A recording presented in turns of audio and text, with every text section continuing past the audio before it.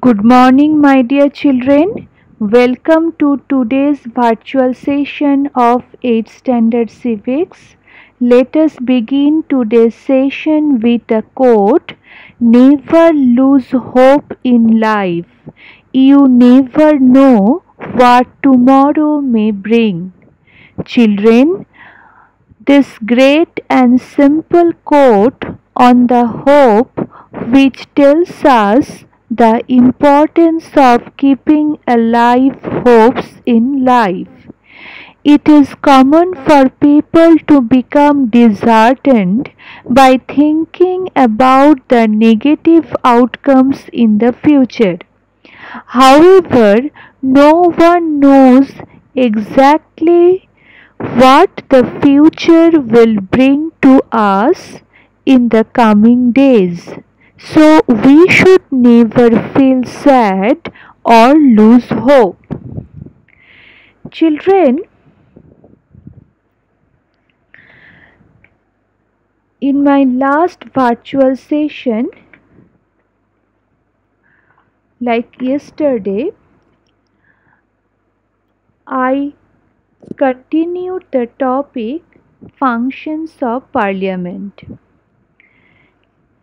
Before that, I told you about the Indian Parliament, that the Constitution of India has created the Parliament of India, the legislature at the national level, that is the level of the central government.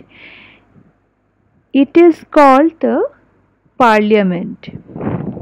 Then I told you that the parliament consists of the president and the two houses. One is Lok Sabha and the next one is Rajya Sabha. About Lok Sabha and Rajya Sabha, you came to know in detail. Then I have discussed about the functions of parliament. There are three functions. One is formulation of laws. Second one is control over council of ministers. And the third one is amendments to the constitution. These are all the functions of parliament. Then I told you about the speaker of Lok Sabha and the chairman of Rajya Sabha. Today, I would like to continue the topic How does the parliament make laws?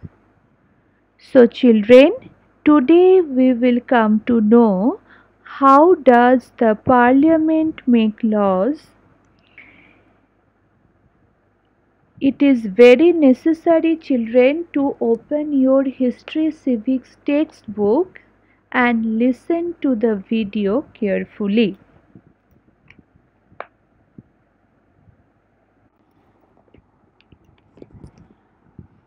How does the parliament make laws? In our country, the parliament is empowered to make laws to formulate them a certain system has been adopted. This system is known as the law making process. A rough draft of the law is prepared initially. This draft or outline is known as draft proposal of the law or the bill of law.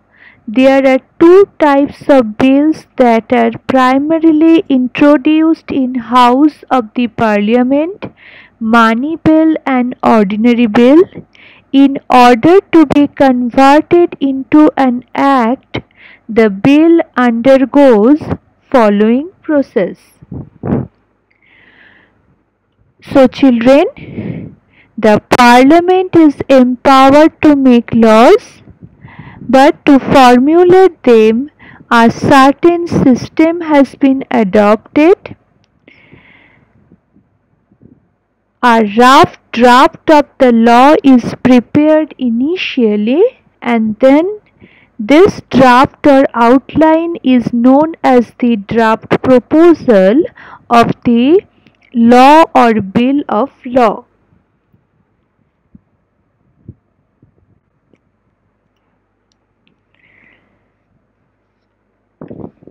In order to be converted into an act, the bill is sorry, the bill undergoes following process.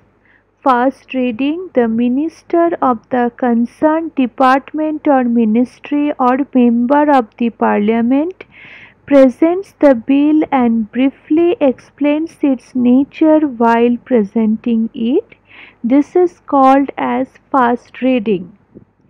Then the second reading, there are two stages of second reading. In the first stage, the objectives of the proposed bill are discussed and members in the House express their opinions on it. The supporters of the bill give favorable opinions while the opponents discuss the defects and the faults in the bill. After the discussion within the House, as part the requirement, the bill is sent to a committee of the House. The committee report consisting of instructions and recommendations is such is sent to the House in order to make the bill flawless. Now the second phase of the second reading begins. In this phase, the bill is discussed clause by clause. Members can suggest changes. After this, voting is taken in the House.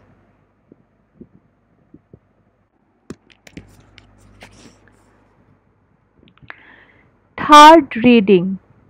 The bill is discussed briefly again during the third reading. Voting is taken for approving the bill. If the bill gets an assent by the required majority, then the bill is considered as passed by the House. The bill undergoes the same procedure even in the other house. After getting an approval by both the houses, the bill is further sent for assent by the President. If there occurs a difference of opinion between Lok Sabha and Rajya Sabha over a specific bill, the future of this bill is decided in a joint meeting of both the houses after the final assent and signature of the President. The bill is converted into the law and the law is made. So children, here you have come to know that how a bill is converted into law. The first reading, the second reading, and the third reading all are essential to convert a bill into a law. So, children, in this topic, the Indian Parliament, you came to know the first point what is Parliament? The next one that is the composition of uh, parliament the president the two houses lok sabha and rajya sabha. Then i discussed about lok sabha and rajya sabha in detail Lok Sabha is the lower and the first house of the Parliament of India. Rajya Sabha the upper and the second house of Parliament in the Rajya Sabha. Then I told you about the functions of Parliament that is formulation of laws, control over Council of Ministers, and amendments to the constitution. All these are the functions of parliament. Then I told you the speaker of Lok Sabha and the chairman of Rajya Sabha.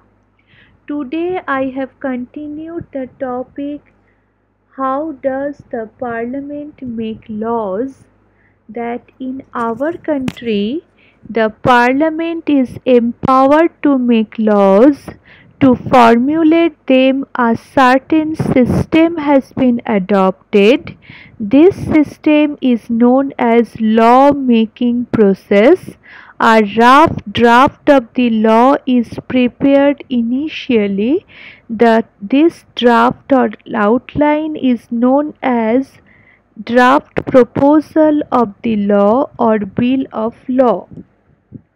Then, in order to be converted into an act or law, the bill undergoes following process. The first reading, the second reading and the third reading and after having the final assent and signature of the President, the bill is converted into the law and the law is made.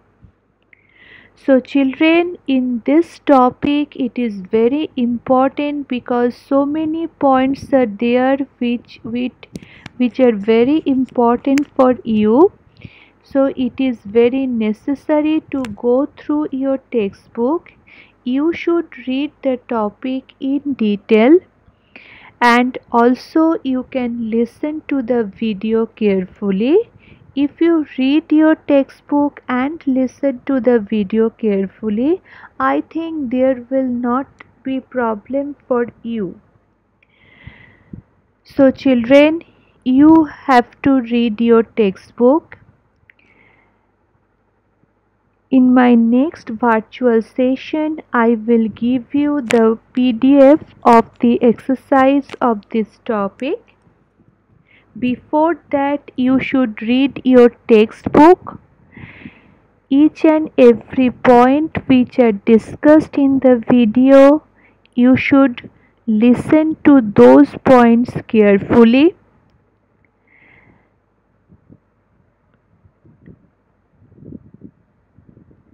If you listen to the video carefully and you read the textbook, then it will be not a problem for you to understand the topic. Thank you. Have a nice day. Stay safe. Stay healthy.